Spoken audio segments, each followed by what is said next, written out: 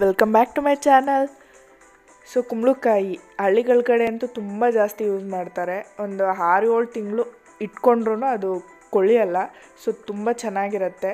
So ಚೆನ್ನಾಗಿ ಬಲ್ತಿರೋದ್ರಲ್ಲಿ ಪಲ್ಯ ಮಾಡ್ಕೊಂಡು ತಿಂದರೆ ಎಸ್ಪೆಷಲಿ ಚಪಾತಿಗೆ, ರೊಟ್ಟಿಗೆ ಎಲ್ಲ ಸಕ್ಕತ್ತಾಗಿರುತ್ತೆ. ಕುಂಬಳಕಾಯಿ ಒಳ್ಳೆ ಕಾಂಬಿನೇಷನ್ನು ಸೊ ಸ್ಟಾರ್ಟ್ ಮಾಡಿಬಿಡೋಣ. ಫಸ್ಟಿಗೆ ನಾನು ಈ ಕಪ್ಪಲ್ಲಿ ಒಂದು ಕಪ್ಪಷ್ಟು ಕಾಯಿ ತುರಿ ತೊಗೊಂಡಿದ್ದೀನಿ. ಹಾಗೆ ಹಾಕ್ಬೋದು.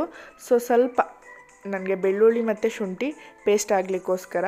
ಸೊ ಅದನ್ನು ಸೇರಿಸ್ಬಿಟ್ಟು ಒಂದೇ ಒಂದು ರೌಂಡು ಗ್ರೈಂಡ್ ಮಾಡ್ಕೊಂಡಿದ್ದೀನಿ. ನಾನೊಂದು ಮೂರು ಟೇಬಲ್ ಸ್ಪೂನಷ್ಟು ಎಣ್ಣೆ ತೊಗೊಂಡಿದ್ದೀನಿ. ಸೊ ಸಾಸಿವೆ, ಜೀರಿಗೆ ಒಂದೊಂದು ಟೇಬಲ್ ಸ್ಪೂನ್ ಹಾಕ್ಕೊಂಡು ಅದಕ್ಕೆ ನಾನು ಹಸಿರು ಮೆಣಸಿನ್ಕಾಯಿ ಹಾಕ್ಕೊಂಡಿದ್ದೀನಿ ಒಂದು ಆರರಿಂದ ಏಳು. ಬಿಕಾಸ್ ಇದು ಸ್ವಲ್ಪ ಖಾರ ಖಾರವಾಗಿದ್ದರೆ ಚೆನ್ನಾಗಿರುತ್ತೆ.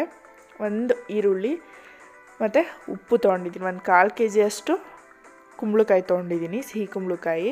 ಸೊ ಖಾರ ಖಾರವಾಗಿದ್ದರೆ ಚೆನ್ನಾಗಿರುತ್ತೆ. ಚೆನ್ನಾಗಿ ಹಣ್ಣಾಗಿರೋ ಒಂದು ಟೊಮೆಟೊ ಆ್ಯಡ್ ಮಾಡ್ಕೊಂಡಿದ್ದೀನಿ. ಟೊಮೆಟೊ ಬೇಕಾದರೆ ಹಾಕ್ಕೋಬೋದು, ಬೇಡ ಅಂದರೆ ಸ್ಕಿಪ್ ಮಾಡ್ಬೋದು.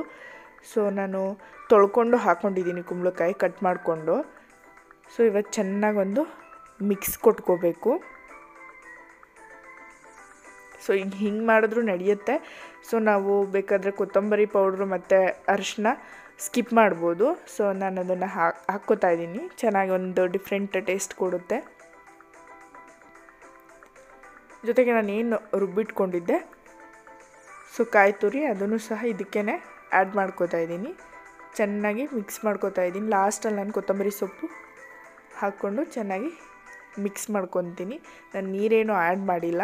ಬಿಕಾಸ್ ಇದೇ ನೀರು ಬಿಟ್ಕೊಳ್ಳುತ್ತೆ ನೀರು ಕುಂಬಳಕಾಯಿ ಬಿಟ್ಕೊಳ್ಳಲ್ಲ ಅಂದರೆ ಒಂದೇ ಒಂದು ಟೀ ಗ್ಲಾಸಷ್ಟು ನೀರು ಹಾಕ್ಕೊಂಡ್ರೆ ಸಾಕು. ತುಂಬ ಬೇಯಿಸಿದ್ರೆ ಚೆನ್ನಾಗಿರಲ್ಲ. ಮೀಡಿಯಮ್ ಆಗಿ ಬೆಂದರೆ ತುಂಬ ಚೆನ್ನಾಗಿರುತ್ತೆ. ಸೊ ಲಿಡ್ ಕ್ಲೋಸ್ ಮಾಡಿ ಒಂದು ಹತ್ತು ನಿಮಿಷ ಬೇಯಿಸ್ಕೊತೀನಿ. ಕುಕ್ಕರ್ ಆದರೆ ಒಂದು ವಿಜಲ್ ಕೂಗಿಸ್ಕೋಬೇಕು. ಸೊ ನೋಡಿ ಇದು ಆಲ್ಮೋಸ್ಟ್ ಆಗಿ ನೋಡಿ. ನಾನು ನೀರು ಹಾಕ್ಕೊಂಡಿಲ್ಲ ಎಷ್ಟೊಂದು ನೀರೆಲ್ಲ ಬಿಟ್ಕೊಂಡಿದೆ ಇದು. ಇದು ಬೆಂದ್ಕೊಂಡಿದೆ. ಈಗ ಸಾಕು. ಚಪಾತಿ ಜೊತೆಗೆ, ರೊಟ್ಟಿ ಜೊತೆಗೆ ಎಲ್ಲ ತುಂಬಾ ಚೆನ್ನಾಗಿರುತ್ತೆ. ಥ್ಯಾಂಕ್ ಯು ವಿಡಿಯೋ ಇಷ್ಟ ಆದರೆ ಲೈಕ್ ಮಾಡಿ ಶೇರ್ ಮಾಡಿ ಆ್ಯಂಡ್ ಕಮೆಂಟ್ ಮಾಡಿ.